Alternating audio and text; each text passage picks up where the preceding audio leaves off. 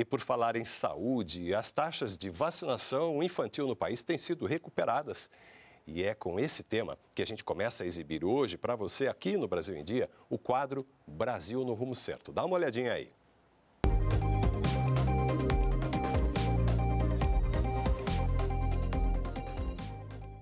Tem que tomar sempre todas as vacinas. Porque é importante para prevenir doenças. O Israel ainda é um adolescente, mas ele já sabe que as vacinas são fundamentais na busca por uma vida mais saudável. Mas as coisas não são simples como parecem. Veja só. Para quem já foi referência em vacinação, o Brasil andava mal das pernas. Nos últimos anos, nenhuma vacina atingiu as metas estabelecidas pelo Ministério da Saúde.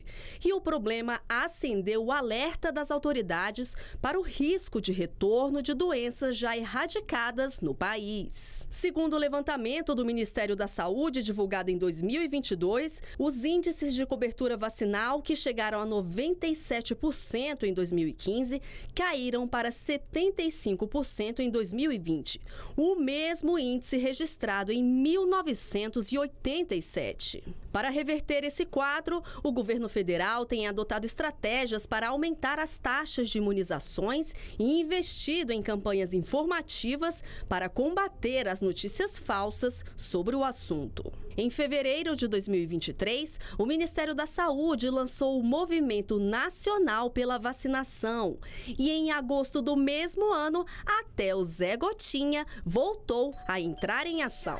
Pois é, chegou a hora de convocar nossos baixinhos e baixinhas para o Movimento Nacional pela Vacinação. Tem uma ideia. Doenças que pareciam simples como o sarampo, a gente também precisa tomar vacina e, sobretudo, contra a Covid.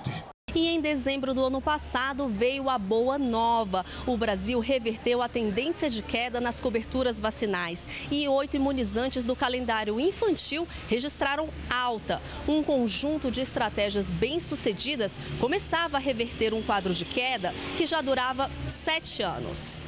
A cobertura vacinal de hepatite passou de 73% em 2022 para 79% em 2023. O primeiro retorno da pneumocócica passou de 71% para 78%. As taxas de vacinação da polio cresceram de 67% para 74%. Eu quero dizer a vocês, é, de uma maneira assim muito emocionada, que o Movimento Nacional pela Vacinação venceu. Ou seja, todos nós alcançamos juntos o objetivo de reverter a tendência de perda nas coberturas vacinais no Brasil. No dia 3 de abril deste ano, o governo iniciou o Movimento Nacional pela Vacinação na Comunidade Escolar.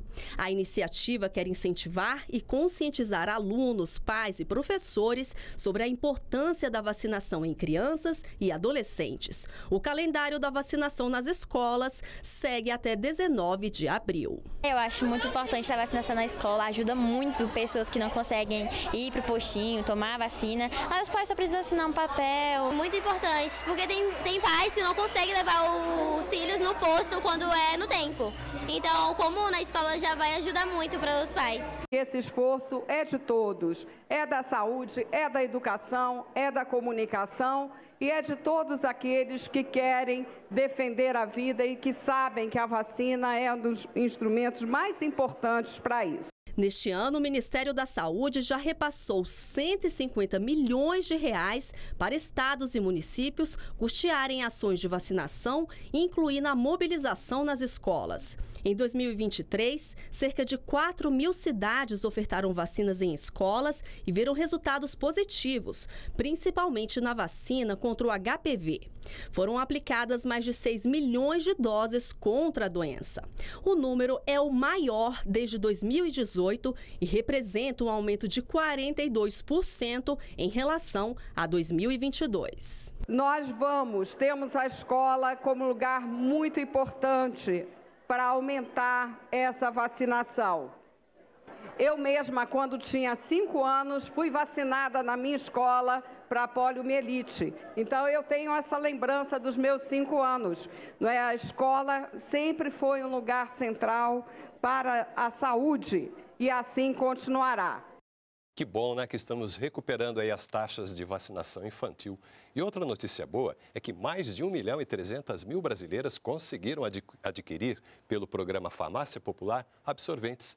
Este é um dos destaques da nossa agência de notícias do canal Gov, que mostra que o programa Dignidade Menstrual entregou mais de 56 milhões de unidades via farmácia popular.